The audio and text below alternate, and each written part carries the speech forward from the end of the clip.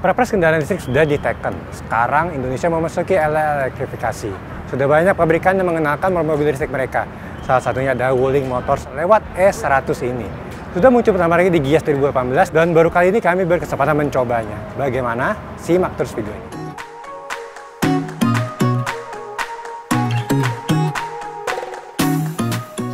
Desainnya jelas mirip seperti Smart Fortwo yang dulu sempat juga beredar di Indonesia. Bagaimanapun mobil ini sangat mungil dan sangat menyita perhatian di jalan, terutama jika dibandingkan dengan mobil-mobil yang besar. Total panjang tidak sampai 2,5 meter, lebarnya pun juga hanya 1,5 meter, sedangkan tingginya 1,6 meter. Agar luas kabin cukup, makanya atap dibuat lebih tinggi, tapi juga tidak terlalu besar untuk pengemudi maupun penumpang berposter besar. Sedangkan wheelbase-nya tergolong panjang, yaitu 1,6 meter. Bobotnya sendiri hanya 880 kg. Saking imutnya, ukuran peleknya hanya 12 inci, dengan ukuran ban 145 dan profil 70. Sudah pasti, radius putarnya juga sangatlah kecil untuk bermanuver, terhitung hanya 3,7 meter saja. Hebatnya untuk ukuran mobil seperti ini, fiturnya sangatlah berlimpah. Lihat saja bagian luarnya, lampu saja sudah model korektor, ditambah juga dengan fog lamp. Lokasi tempat untuk mencolokkan kabel listrik berada di bagian muka, tepatnya di balik logo Wuling. Fitur di kabin juga tak kalah lengkap dibandingkan mobil-mobil biasa. Mengaktifkan mesin sudah melalui tombol start stop, mode transmisinya berbentuk knob putar, dan sudah menganut elektronik parking braking. Segala fungsi informasi tertera di dalam LCD monitor tepat di balik kemudi. Bahkan, fitur keselamatannya pun sangat tidak dilupakan. Selain dua kantung darah untuk pelindung dari benturan, ABS plus ABD juga ada Electronic Stability Control, dan keempat remnya sudah model cakram.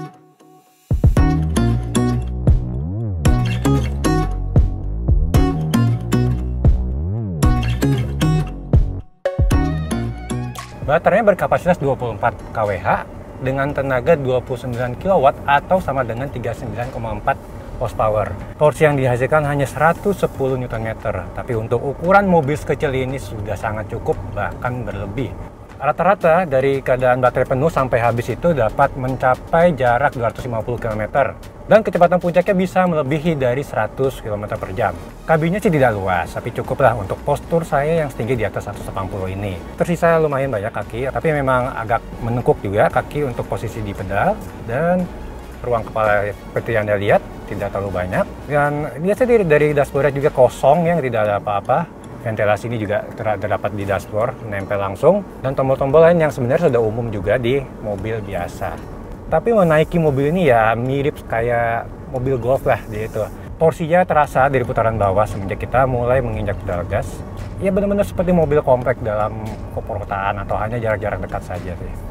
Setirnya juga seperti mobil pada umumnya, tombol-tombol yang dipakai ini ada ya untuk uh, audio ataupun mengatur berbagai macam mode. Tersedia mode berkendara eco ataupun sport ya. Tapi untuk kondisi pengecasan saat ini tidak memungkinkan untuk merasakan yang mode sport ataupun eco ya. Jadi harusnya sih sport itu lebih torsinya lebih terasa lagi untuk tarikan yang lebih cepat.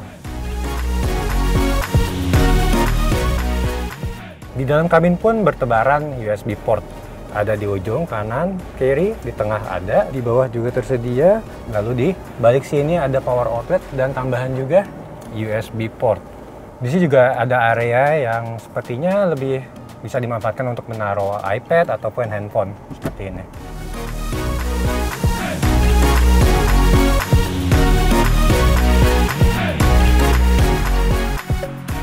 Sebenarnya ada model yang lebih baru lagi dari S100 yaitu E200 yang dipajang oleh Wuling. Secara produk mirip sekali dan dari S100 ini pun sendiri menggambarkan bagaimana teknologi listrik yang dimiliki oleh Wuling Motors. Sayang sekali belum ada kepastian kapan dijual ya, karena banyak sekali persyaratan yang harus dipenuhi sebelum bisa Wuling menjualnya ke muka publik.